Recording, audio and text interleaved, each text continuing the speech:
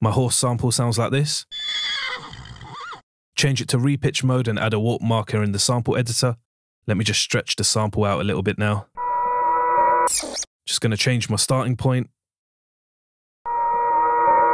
Let's add a fade to smoothen it out. Sounds much better. Freeze and flatten. Drag it into a sampler. Load a tuner on it so you can tune it correctly. Now I'm going to add some basic processing to it, but feel free to use a VST like Serum to resynthesize it further. The possibilities are endless.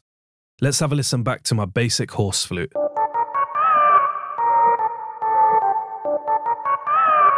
Alright, if you guys love this content, make sure you smash that like button and drop us a follow, people. Much love, Manny from Noise Wolf.